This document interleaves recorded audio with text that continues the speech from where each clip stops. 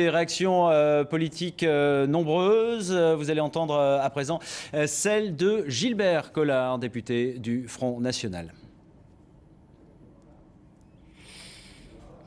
On a l'impression que c'est un combat de chef de gare. hein. Mais malheureusement, les cocus, ce sont les électeurs. Alors moi j'ai le sentiment, sans, sans vouloir faire comme M. Borloo, hein, qui voit double, hein, puisqu'il voit arriver des gens de l'UMP de tous les côtés, j'ai le sentiment que c'est le signe clinique qui a commencé avec euh, l'élection au Parti Socialiste, d'une désagrégation complète de la structure politique. Je pense aux électeurs et aux électrices.